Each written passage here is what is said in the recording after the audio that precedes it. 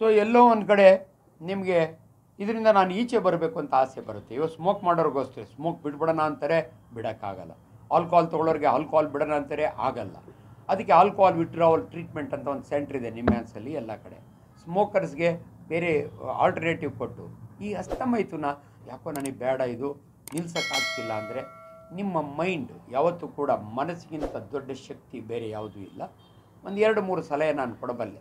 ಎಲ್ಲ ಒಂದು ಕಡೆ ಡಿಟೈನ್ ಮಾಡಬೇಕು. ನಾನು ಇಷ್ಟು ದಿನ ಮಾಡಿದ್ದೀನಿ ಸಾಕು ಐ ವಾಸ್ ವೆರಿ ಹ್ಯಾಪಿ ಇನ್ನು ನನಗೆ ಬೇಡ. ಅಂತ ನೀನು ಡಿಸೈಡ್ ಮನಸ್ಸಿಗಿಂತ ದೊಡ್ಡದು ಯಾರೂ ಇಲ್ಲ. ಬಟ್ ನಾವು ಎಲ್ಲೋ ಒಂದು ಕಡೆ ಯಾವುದೇ ಒಂದು ಕೆಟ್ಟ ಅಭ್ಯಾಸನ ಬಿಡಬೇಕಾದ್ರೆ ಮಂಜುನಾಥ ಸ್ವಾಮಿ ಧರ್ಮಸ್ಥಳಕ್ಕೆ ಹೋಗಿ ಸಿಗರೇಟ್ನ ಒಂದು ಪ್ಯಾಕ್ ಕೂತ್ಕೊಂಡು ಸೇದ್ಬಿಟ್ಟು, ಬಿಸಾಕ್ಬಿಟ್ಟು, ಇದೇ ಲಾಸ್ಟ್ ಅಂತ ದೇವ್ರಿಗೆ ಅಲ್ಲಿ ಹೋದವ್ರು ಏನೋ ಬಿಡಬೇಕು ಅಂತ ಹೇಳಿ ಬರ್ತಾರೆ. ಅದೇ ರೀತಿ ನೀವೇನೋ ಒಂದು ಒಂದು, ಇದನ್ನು ತೊಗೊಳ್ಳಿ.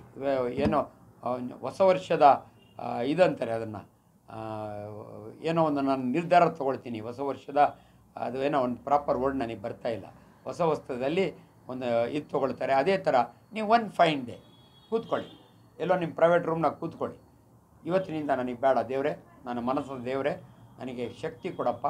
ಇದನ್ನು ನಿಲ್ಲಿಸ್ಲಿಕ್ಕೆ ಅಂತ ನಿಲ್ಲಿಸಿ, ನಿಲ್ಲಿಸೋದ್ರಿಂದ ಏನಾರು ಆಗುತ್ತಾ ಏನೂ ಆಗಲ್ಲ. ಅಟ್ಲೀಸ್ಟ್ ಆಲ್ಕೋಹಾಲ್ನವ್ರು ನಿಲ್ಲಿಸಿದರೆ ಅವರಿಗೆ ಟ್ರೆಮರ್ಸ್ ಬರುತ್ತೆ. ತುಂಬ ಕುಡಿತಿದ್ದವನು ಆಲ್ಕೋಹಾಲ್ ವಿತ್ಡ್ರಾವಲ್ ಸಿಂಡ್ರೋಮ್ ಅಂತೀವಿ. ಇದ್ರಾಗ ಯಾವುದೂ ಬರಲ್ಲ. ಅದೊಂದು ಇಂಪಾರ್ಟೆಂಟ್ ಸ್ಮೋಕರ್ಸ್ಗೆ ಎಲ್ಲೋ ಒಂದು ಕಡೆ ನಾನು ಸ್ಮೋಕ್ ಮಾಡಿದಿರ, ಇರೋಕ್ಕಾಗಲ್ಲ. ಯಾಕಂದ್ರೆ ಅದು ಕೆಮಿಕಲ್ ಅದು.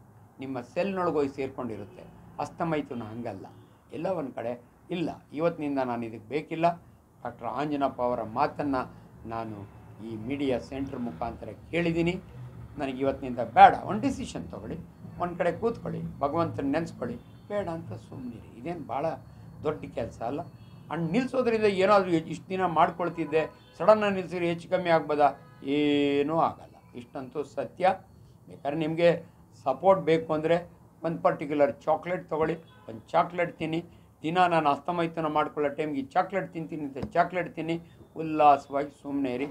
ಡೆಫಿನೆಟ್ಲಿ ಸೈಂಟಿಫಿಕಲಿ ನಿಮಗೆ ಇದರಿಂದ ಏನೂ ತೊಂದರೆ ಆಗಲ್ಲ.